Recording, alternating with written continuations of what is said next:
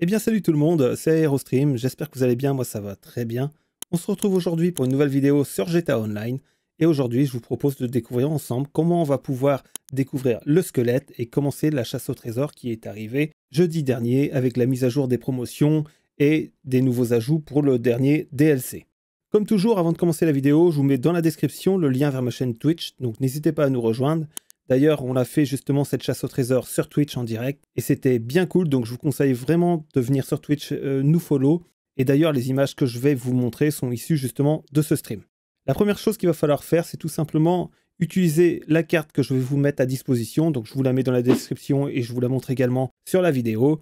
Avec cette carte, vous allez avoir tout simplement les différents points de spawn du squelette. Donc, c'est le squelette, le cadavre qui justement va permettre d'obtenir le détecteur de métaux. Et ce que je vous conseille, c'est tout simplement de faire des allers-retours sur le sud de la carte, si possible avec un avion de chasse, donc soit un laser ou éventuellement l'Hydra. Euh, je vous conseille tout simplement un avion de chasse parce que ce sont des avions qui vont très vite et vous allez pouvoir en fait faire apparaître le point bleu puisque c'est un point bleu qui va apparaître. Un peu comme les exports exotiques, vous aurez un point bleu qui va apparaître sur la carte quand vous allez trouver justement le squelette. Faites bien attention parce que personnellement, euh, le point bleu est apparu, je n'ai pas fait attention, j'ai continué et il a tout simplement disparu il a fallu quand même que je revienne sur le point bleu pour qu'il réapparaisse. Donc faites bien attention puisque vous pouvez facilement passer à côté. Bien sûr, si vous n'avez pas d'avion de chasse, vous pouvez utiliser un Sparrow, une MK2, etc. Si possible, un engin volant, puisque si vous le faites avec un véhicule terrestre, ça va être quand même beaucoup plus compliqué de trouver le squelette. Une fois que vous l'aurez trouvé, eh il suffira de vous poser à côté et vous allez pouvoir tout simplement prendre le détecteur de métaux en question qui va vous permettre par la suite d'aller sur Caillou Perico pour trouver les trésors. Vous pourrez également sur le cadavre trouver la carte de Caillou Perico avec les endroits où vont se trouver les trésors. Pas la peine de la retenir puisque de toute façon, une fois que vous serez à Caillou Perico, vous aurez les points qui seront indiqués C'est-à-dire que vous aurez des points d'interrogation sur la carte. Donc, ça ne sert à rien de se préoccuper de cette carte. Elle est juste là, en réalité, pour faire joli. Une fois que vous avez eu votre détecteur de métaux, eh bien, il va falloir appeler votre sous-marin puisque vous allez devoir lancer la mission recherche de renseignements depuis le tableau de votre sous-marin. Vous lancez cette mission et comme d'habitude, vous déplacez votre sous-marin, vous vous rendez avec votre Sparrow sur l'endroit où se trouve le Velum, vous tuez les PNJ, vous prenez le Velum et vous vous rendez à Cayo Perico.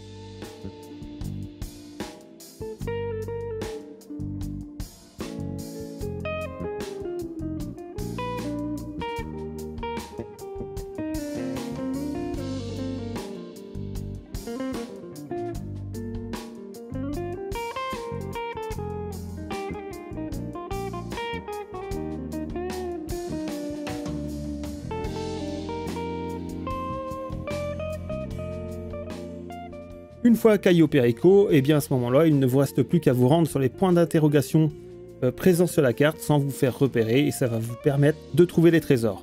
Attention quand même, les trésors sont enterrés donc vous ne les trouverez pas comme ça à la surface.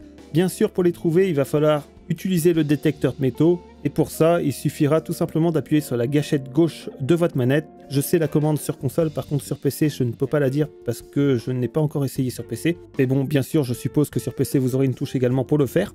Quand vous allez utiliser le détecteur de métaux en appuyant sur la gâchette de gauche, eh bien, vous allez avoir tout simplement des bandes bleues qui vont se remplir. Plus il y a de bandes bleues et plus vous êtes proche du trésor, et vous aurez également, comme un détecteur de métaux classique, euh, un bip bip qui va être de plus en plus rapide euh, quand vous allez vous rapprocher du trésor pour finir par être complètement continu une fois que vous serez très très proche du trésor.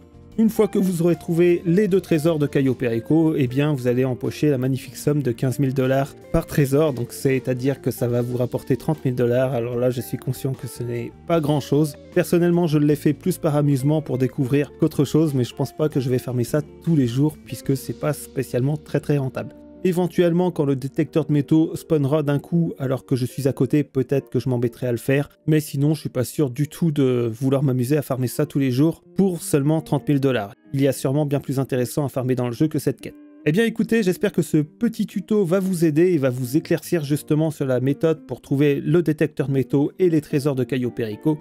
Si c'est le cas, comme d'habitude, n'hésitez pas à liker, commenter et partager la vidéo. N'hésitez pas non plus à vous abonner à la chaîne si ce n'est pas déjà fait. Je fais régulièrement des vidéos sur GTA Online, donc si vous aimez ce jeu, n'hésitez pas à vous abonner, vous ne serez pas déçus.